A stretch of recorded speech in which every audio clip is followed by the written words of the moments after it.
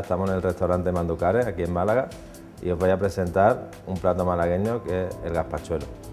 El gazpachuelo se compone principalmente de gamba, eh, rape, patata y mayonesa.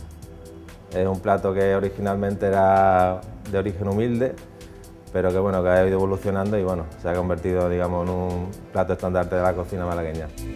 Bueno, ahora pasaríamos a la elaboración del plato, en el cual cogemos las cabezas de las gambas ya peladas y haríamos un caldo.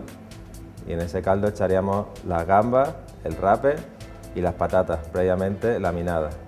Una vez que estén cocidos todos los ingredientes, con la mayonesa que hemos hecho previamente, con aceite de oliva de la Vega de Antequera, emulsionaríamos la, la sopa, el cual pues, quedaría un resultado espesito, ligado todo con los ingredientes y nada, punto para comer.